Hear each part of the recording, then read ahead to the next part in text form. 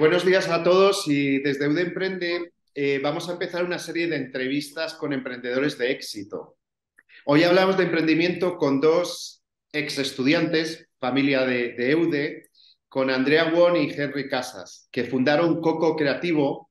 Es una agencia de marketing digital que tiene su sede en Costa Rica. Buenos días a los dos, buenas tardes para nosotros. Y antes de nada, antes de nada, pues, eh, ¿nos podéis contar un poquito cómo empezó todo y por qué habéis decidido emprender? Bueno, este, todo empezó en EUDE porque nosotros trabajamos, em, estábamos haciendo el máster de marketing digital en EUDE y pues empezamos a hacer muchos trabajos juntos y encontramos que había una muy buena química como eh, compañeros de trabajo.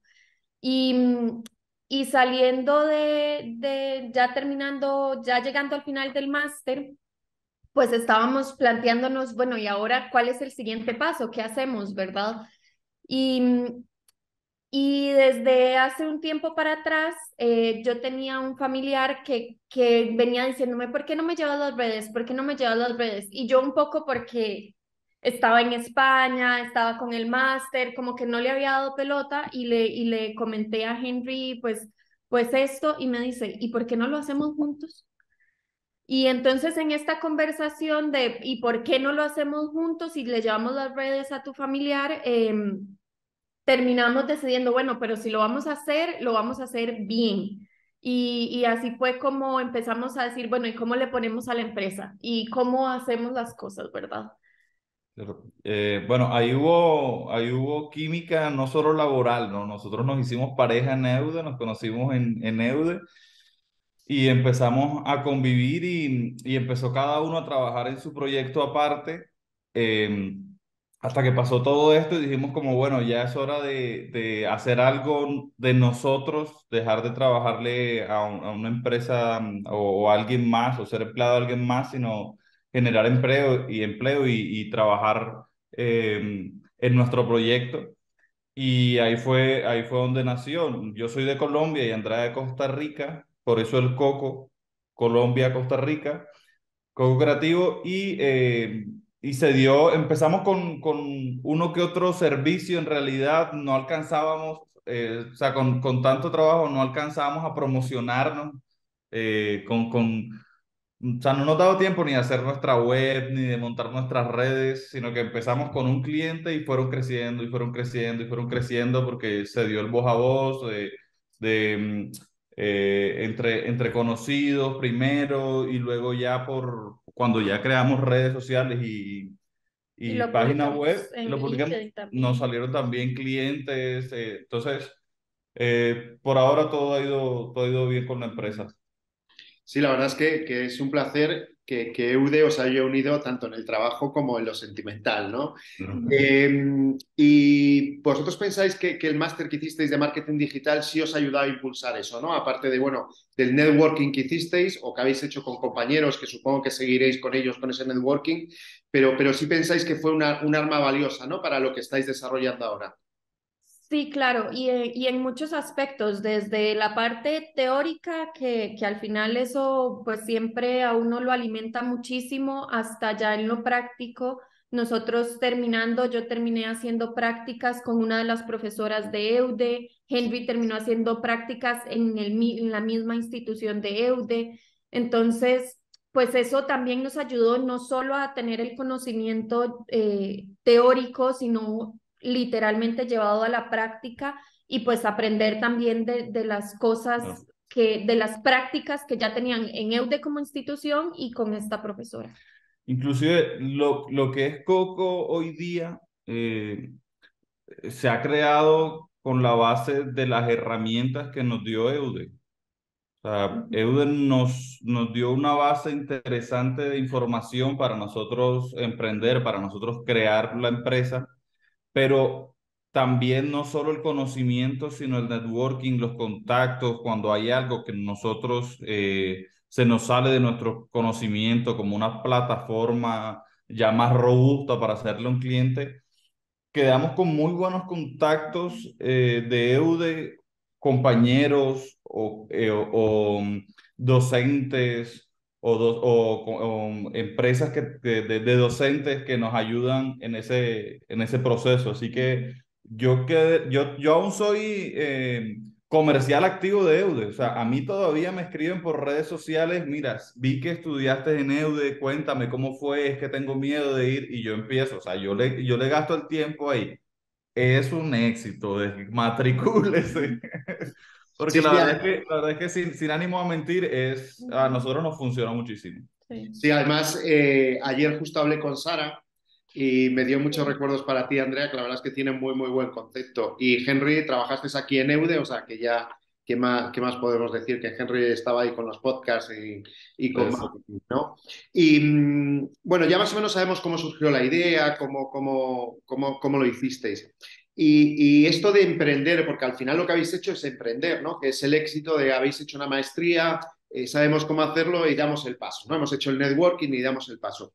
¿Y, os ha sido difícil esto de, emprender en Costa Rica? ¿Os habéis visto muy perdidos o cómo ha sido un poco? Contarnos el tema. A ver, tan, tan perdidos no, porque de alguna u otra forma, eh, yo también hice el, el máster de, del MBA en, en EUDE, había pues muchas cosas que yo ya sabía, bueno, hay que pagar porcentajes de impuestos, hay que pagar no sé qué, eh, lo primero es inscribirse, en, nosotros aquí le llamamos Hacienda, pero es justamente para pagar impuestos. Aquí también. Eh, eh, este, y así como que yo ya más o menos sabía mm, un poco los pasos que había que hacer, sin embargo, siempre los trámites son diferentes porque aquí piden requisitos diferentes.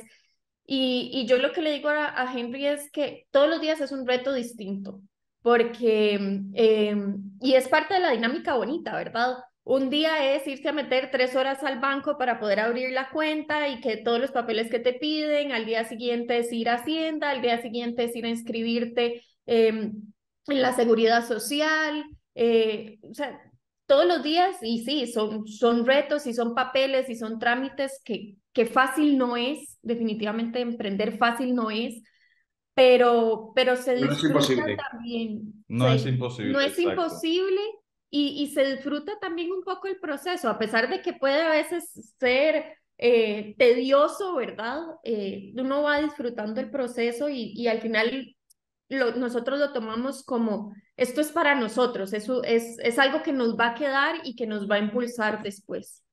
Andrea, Andrea le ha sido más duro el, el tema de emprender aquí porque eh, a ver, por, por un tema de, de que ella es la eh, representante legal por ser costarricense y yo colombiano, entonces básicamente a ella le toca hacer todas las vueltas. Y, y para mí ha sido complicado entenderlo porque mm, tienen, tienen unas normas, unas reglas muy diferentes a las de Colombia para, para, para hacer empresa entonces, a mí me ha tocado ponerme a leer, a buscar, a indagar, a preguntar con conocidos que ya tienen empresa, ven ustedes cómo hacen esto, en dónde hacen esto, en dónde hacen aquello. Pero entonces es, se vuelve otra carrera, ¿no? Se vuelve otra labor adicional que, que, es bueno, que es bueno conocer, que la idea es tener las reglas muy claras para saber eh, dónde, puedo, dónde puedo establecerme y a cuál regla le puedo sacar más provecho. Entonces, para, para mí ha sido retador el tema. No, está claro que al final querer es poder. Es cuestión de lo que decías, Andrea, no es fácil, pero no es imposible. Es, es cuestión de, de, ser muy persistente, de ir por aquí, ir por allí. La verdad es que muchas veces, además, como estás empezando, todo, todo es nuevo, pues es, complicado, ¿no?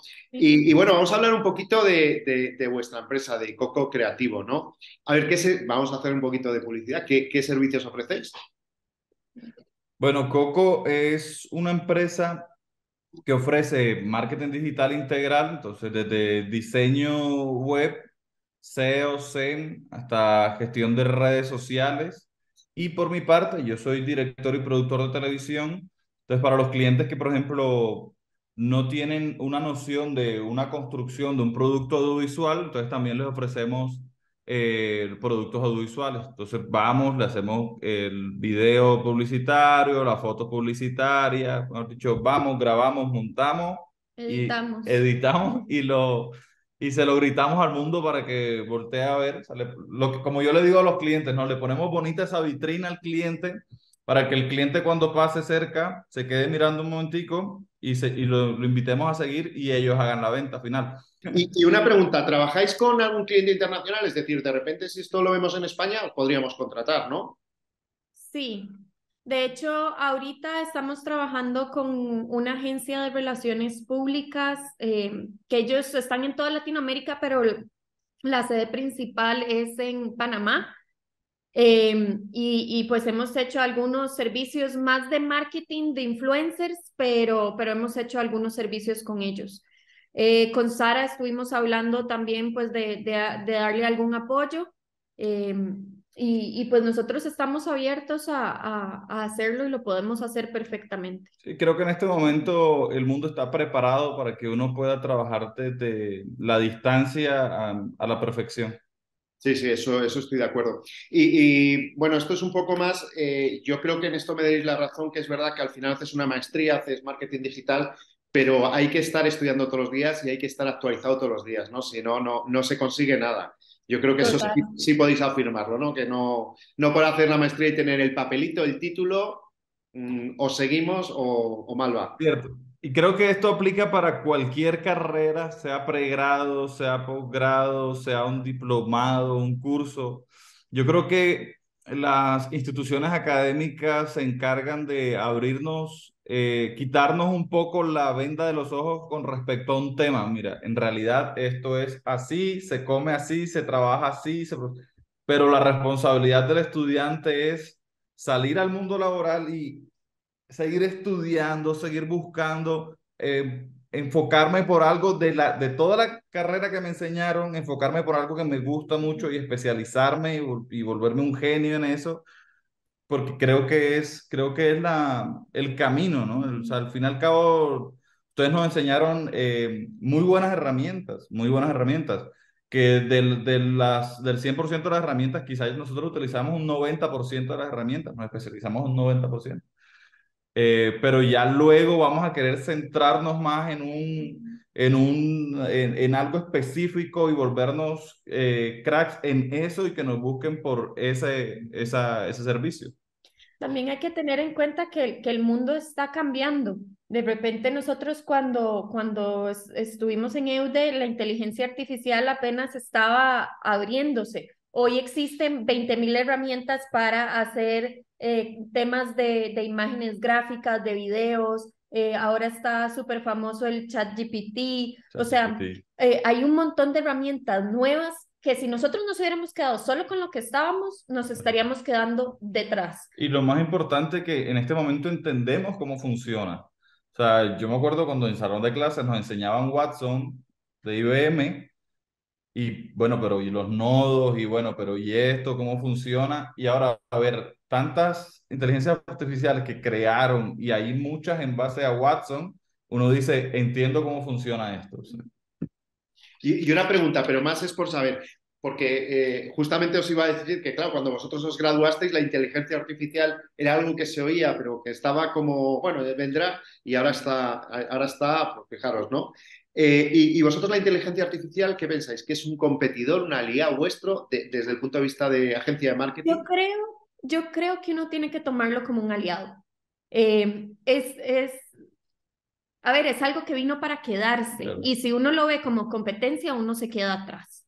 indiscutiblemente son herramientas supremamente buenas para usar que nos, que nos ayudan en nuestro trabajo diario. O sea, quizás si antes nos gastábamos cuatro horas, cinco horas haciendo una parrilla de copies, eh, en este momento, con las ideas que nos arroja, por ejemplo, ChatGPT, eh, nos demoramos una hora o media hora armándola con lo que nosotros les estamos diciendo, pero es que la, la, a ver, la exactitud y la, la genialidad que arroja ChatGPT, solo esa herramienta, porque hay muchas otras más, inclusive nuestra web, nuestra web para hacer nuestra web utilizamos Midjourney es inteligencia artificial y construimos nuestra web utilizando inteligencia artificial y nosotros se lo decimos a nuestros clientes porque creemos que son herramientas que hay que empezar a usar y que hay que empezar a emplear porque son muy buenas. Sí. Y... No, a ver, hay que entender que estas herramientas todavía están aprendiendo, entonces no es eh, agarrar lo que nos dicen y tomarlo fielmente, copiar y pegar, porque no, todavía están aprendiendo, todavía hay cosas que, que, que mejorarles, pero te ahorra una cantidad de tiempo que si es solo ajustar ciertas cosas, nos está ahorrando tiempo y nos ayuda a ser más productivos para avanzar en, en otros proyectos también. Correcto. Y ya para finalizar, que tampoco os queremos robar más tiempo, que estáis ahí empezando, eh, bueno, pues un poco pensando en vuestra experiencia, ¿no? ¿Qué consejo daríais a, los recién ingresados, los que están estudiando o marketing eh, digital o dirección de marketing o comercio internacional o MBA, es decir, cualquiera de nuestras maestrías, ¿qué consejo le daríais y, qué, qué, podríais decirle para, para tirar hacia adelante? A ver, yo podría darles el consejo de que empiecen a crear desde la universidad, desde ahí, desde, desde el principio del máster. Porque, por ejemplo, a mí me toca molestarle la vida a Carlos todo el tiempo. Carlos, ¿cómo es esto? Carlos, esto, eh, ¿qué herramienta se usa aquí? Y, y es tedioso tener que estar ahí, ¿cierto? Porque teniendo uno los profesores al lado, dejó pasar muchas preguntas que solo surgen cuando uno empieza a crear solo surgen creando. Uno, no se imagina o no se adelanta a qué, es lo que va a venir. Uno puede tener una idea, una noción, ¿cierto? Pero cuando uno empieza a crear, uno empieza a generar, sea contenido, sea una empresa, sea mm, una web, sea cualquier cosa que empieces a crear que sea desde, el, desde el ámbito académico, protegido por ese ámbito académico que le dé a uno la oportunidad de poder levantar la mano y decir, me, me, quedé aquí, hasta aquí llegué, ¿cómo sigo de aquí hacia adelante? Y que ahí están los docentes para, para decirle. Ya que el, el networking, o sea, yo, yo, le decía esto a, a, mucha gente. EUDE tiene unos docentes que es que eh, son un gancho de, de, comercial, o sea, son personas geniales, son personas que tienen una, un conocimiento infinito de, de de, de toda esta área, en, en, en, nuestro caso de marketing, eh, que uno dice vale la pena, eh, vale la pena ir e inscribirse. Entonces hay que aprovecharlos y sacarles todo el jugo. Mi consejo es sacarles todo el jugo a los docentes, estar ahí de pesados preguntándole, venga, ¿cómo es esto? Yo fui así, yo fui pesado como sí, yo creo que uno tiene que ser igual de exigente que son los profesores con uno. Los profesores a uno le exigen eh, cierto estándar em, de puntualidad, de, em, de, de, los trabajos, de las cosas, y por qué uno no ser igual. Uno no llega a la clase simplemente a escuchar y irse, no, uno tiene que, que sacarles el jugo, eh, aprender de ellos e ir más allá de lo que de lo que ellos te están mostrando. Al final, ellos te cuentan el programa que está diseñado, pero si uno empieza a indagar un poquito más, más a fondo, uno empieza a averiguar muchas cosas de la experiencia de cada uno de los profesores que, que, que la verdad le aportan a uno muchísimo. Y, y, fuera de marketing digital, o sea, también en, en, en, el MBA, para mí finanzas fue mis materias más retadoras porque yo no era tan, tan dada a los números pero yo le saqué un jugo que después, incluso para el proyecto final, yo molestaba a los dos profesores, por favor, eh, ayúdenme con esto, cómo se hacía esto. Y ahí es donde ahora, el otro día nos sentamos a planificar nosotros las finanzas de nosotros y yo tenía claridad de todo porque yo me senté y molesté a los profesores extra clases de explíqueme esto porque no me está entrando. lo que, es que es verdad que, que, nosotros desde EUDE lo que intentamos formar son directivos.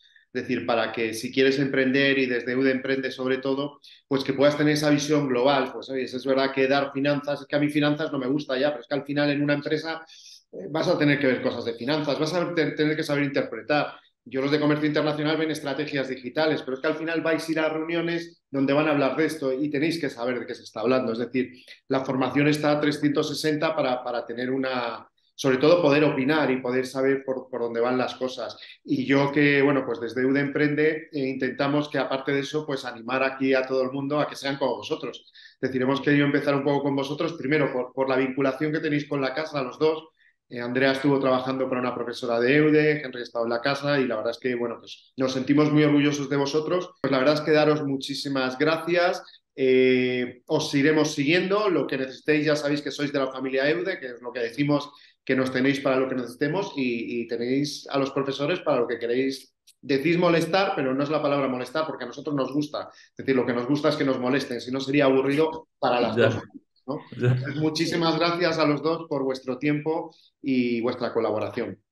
No, gracias a Ustedes. ustedes por, por la oportunidad también y, y, y por todo el acompañamiento. Quizás uno no tiene la oportunidad de decírselo a todos los profesores, pero lo, lo- aprovechamos este medio porque la verdad es que uno, uno aprende mucho eh, y, y, y mucho de lo que tenemos en clases. Yo no sé, el otro día estaba yo armando un plan y le digo a yo a Henry, no es que necesito mi cuaderno para volver a las notas de lo que me estaba diciendo Alba, porque yo sé que ahí está lo que estamos buscando.